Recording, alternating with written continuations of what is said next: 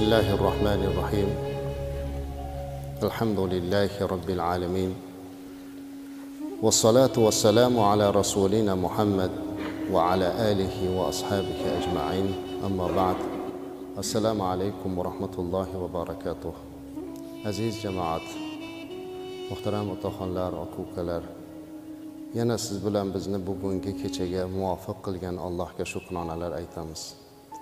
Bizlarga bugunlik hayotni ato qilgan alloh haq subhanahu va taologa shukronalar aytamiz.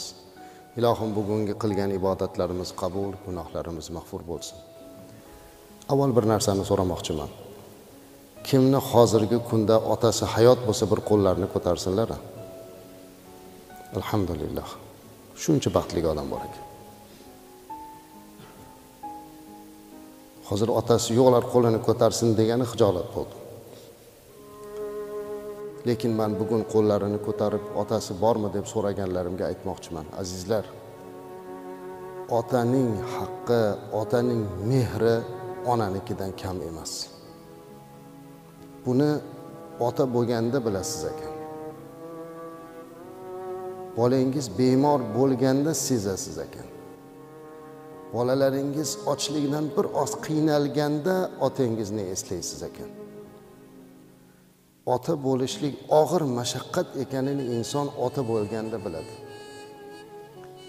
Bu yerda o'tirgan otalar o'tiribsiz. Ham otasi borlar ham o'zi otalar. Ko'nglingizni ko'tarish uchun bir hadis aytaman. Rasulimiz alayhi alayhissalotu vassalam ota haqida bir ajib hadis aytgan ekanlar. Al validu ota dedilar. Absatu abvabil janna. Jannatning eshiklarining o'rtadagi eshigi dedilar. Jannatda eng oliy darajadagi eshik avsat o'rtasi.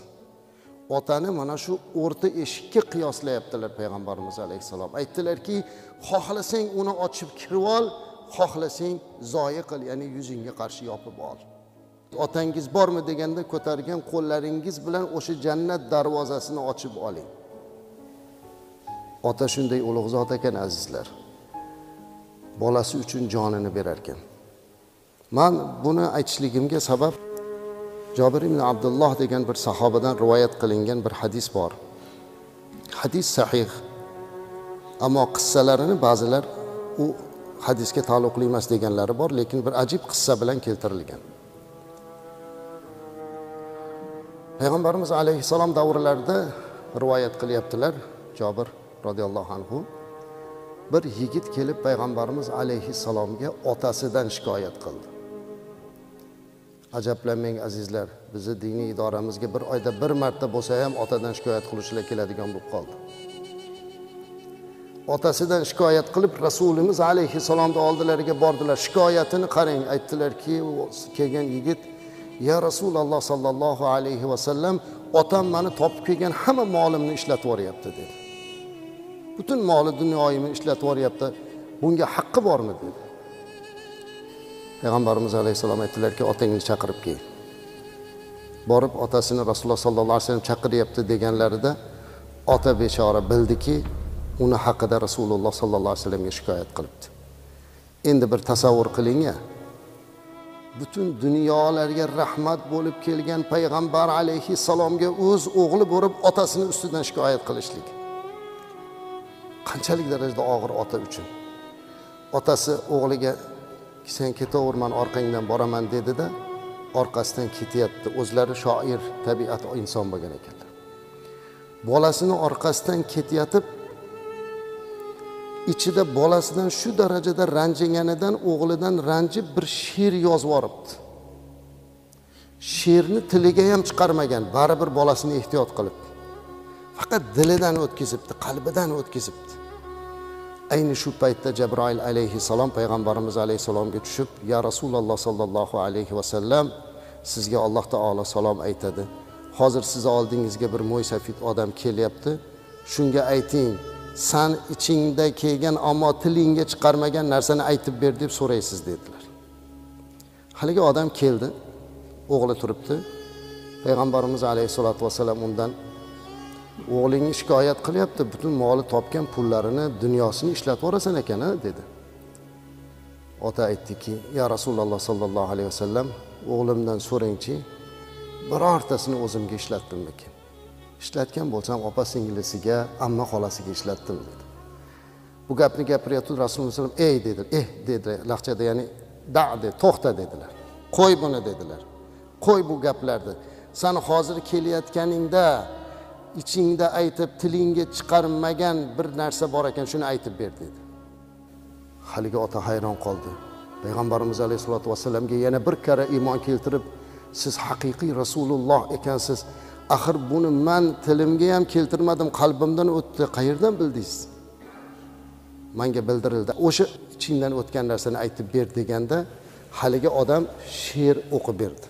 Man sizlarga shu she'rni o'qib o'sha tarjimasini aytib berishni xohladim haligi odam xafa bo'lib kelyapti yo'lda ichida mana shu she'rni yozdi bolasi yoshligida ko'p kasal bo'lgan chog'i shuni esladi she'rni qarang غدوتك مولودا وعلتك يافعا boqdim seni jon bolam qalbim sururga to'lib Quvonchga to'ldi olam ulg'ayding yigit bo'lib bo'ldim kechalar bedor senga yetganda alam. Tanda qolmadi mador yetdi ko'klarga nolam. Go'yo edim men bemor boshga yog'ilib toshlar. Qalbimga to'ldi ozor ko'zdan to'kildi yoshlar. Firoq meni qo'rqitdi. Chang solib senga o'lim. Dardlar meni yiqitdi. Ming titroq tutdi qo'lim. O'sting bo'lib alp o'g'lon. Kamolga yetib asta so'zlaringdan yurak qon. Bo'ldim-ku bolam xasta. Qilding menga qo'pollik. Qalbimga berib ozor. Ko'zlarimga boqding tik. Mahzunlik bo'ldi hazor. Otamanmi o'g'ilmi? Bo'lib qoldim men hayron. G'amga to'ldirding dilni. Yurakni qilib vayron. Aqli yo'q nodon deding. Shuni sendan ko'rganim. Kuchsiz bir ojiz deding. Ustimdan kuldi g'anim. Netay menga dilbandsan qilgum senga yaxshilik. Axir menga farzandsan. Yuz burmayman dushmandek. Mana shu she'rni o'qib berdilar. Payg'ambarimiz alayhissalom yig'ladilar. Haligi yigitni shundoq ushladida rasulimiz alayhissalom anta va maluka li abik dedi. Mana shu hadis sahih hadis azizlar. Anta va maluka li abik sen ham moli dunyoying ham otang uchun dedi. Otangniki seni ham moli dunyoying ham dedi. Hamma narsang otang uchun shuni bilib qo'y dedi. Bizni hamma borligimiz ota uchun azizlar. Yoshlar o'tiribsiz. Sizni boqishlik uchun otangiz ne kuylarga tushganini yana aytaman. Ota bo'lib bir bolangizni boqqanda bilasiz. Ota g'animat ekan azizlar. Otalarimiz o'tib ketdi qanchalar? Qanchasi o'tib ketdi? Hozir topolmayapti. Qancha qancha davlati bor insonlar bor. Qancha qancha puli dunyosi bor. Yig'lab yuribdilar otasini topolmasdan suratiga qarab. Ammo bugun otasi borlar qachon otani oxirgi marta ziyorat qilganini unutdilar. Azizlar ona qalbi musaffo ona ajib ona yaxshi ko'rishini bildiradi bolasiga. O'padi peshonasidan silaydi erkalatadi. Ammo otamiz ekanda biz ba'zan qahri qattiqqa o'xshab turar ekanu ammo lekin onadan kam yaxshi ko'rmas ekan. Yaqinda bir ota keldi. Man buni topishimga sabab azizlar hayron bo'lmang. Bu bu hadisda bu she'rni aytishimga sabab mani oldimga bir ota kelib aytyapti domla bolamni buyragi yo'q. Kasal buyrak olish kerak almashtirish kerak. Donorga pulim yo'q. Man o'zimni bermoqchiman buyragimni ammo doktorlar siz jarrohlikdan chiqmaysiz. O'g'lingizga buyrakni olib beramiz ammo siz turmaysiz deyapti. Kasalingiz og'ir o'zingiz ko'tara olmaysiz amaliyot. Lekin man roziman. O'g'lim yashasinda man buyragimni o'g'limga bersam. Sizni oldingizga kelganim man o'z joniga qasd qilgan bo'lib qolmaymanmi u dunyoda deyapti o'limni o'ylamayapti azizlar. Ollohni huzurida gunohkor bo'lib qolmaymanmi ammo aslo o'limdan qo'rqmayman. Mana shu bolam yashasin man beray mana shu yuragimni ammo qiyomatda man o'zini o'ldirganlardan bo'lib qolmayman man yig'ladim azizlar javob topolmadim man aytdim o'zini o'zi o'ldirgan bo'lib qoladi desam bolasi turibdi. Yo'q deyolishni ham ha deyishni ham bilmadim faqat yig'lab haqqiga duo qildimda balkim yoshroq boshqasini toping o'zingizni ehtiyot qiling degan gapdan u yog'iga o'tolmadim. Va o'sha kundan beri ichimda shu g'alayon yuribdi.